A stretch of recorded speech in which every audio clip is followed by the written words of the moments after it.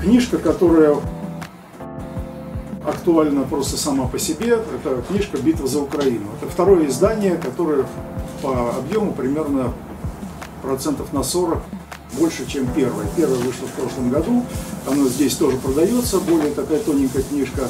А в эту книжку вошли э, статьи, которые я писал, и они были посвящены э, второму, второму полугодию войны. Первая часть – это вся предыстория, э, с которой я сталкивался, в том числе еще в середине 2000-х годов.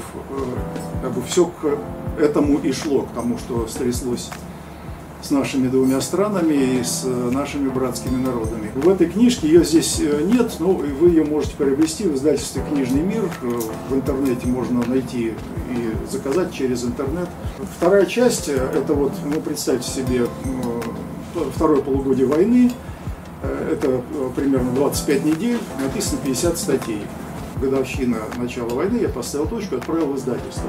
Но книжка вышла только сейчас. Общая позиция моя э, совпадает с тем, что иногда э, говорят высшие чиновники. И вот вчера как раз снова высший чиновник сказал, давайте сравним потенциал НАТО и потенциал России. Мы же не идиоты, сказал он.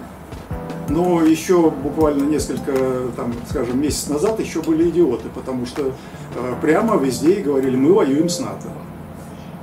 Когда война началась, преследовали людей за то, что они говорили «война».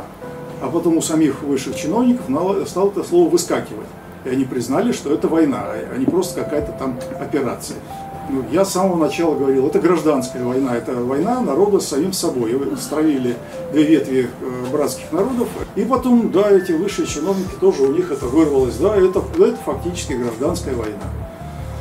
Книжка посвящена скорее э, сознанию людей, которые вот подошли к войне с, с таким настроением, которое было там и в начале Первой мировой войны, и в начале Второй мировой войны, точнее Великой Отечественной войны. Это вот такой детский, детский крик «Ура, война!». И сейчас мы получим что-то, какой-то приз исторический, но получим только бедствие, больше ничего. Вот. Э, искусство э, политики – это уклонение от войны. А тот, кто сам инициирует войну, тот, конечно, Э, ввергает свой народ в тяжелейшие испытания. И они у нас еще все впереди.